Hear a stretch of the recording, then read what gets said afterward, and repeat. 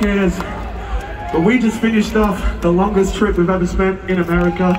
We came off a support tour, did our own headliner. This is our final show in America before we fuck off again. And for it to be this fucking show is absolutely incredible. So thank you for sharing this moment with us. We will not forget this. Yeah! Hell yeah. I literally am on zero hours sleep and I feel like I'm on crack right now. So. That said, we got one more song left and then we're up out of here.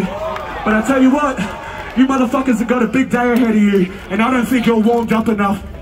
I've not seen nearly enough crowd surfing. I have not seen nearly enough jumping this fucking barrier. So Blue Ridge, turn it up for it right now. This next one's called Akudama. Yeah!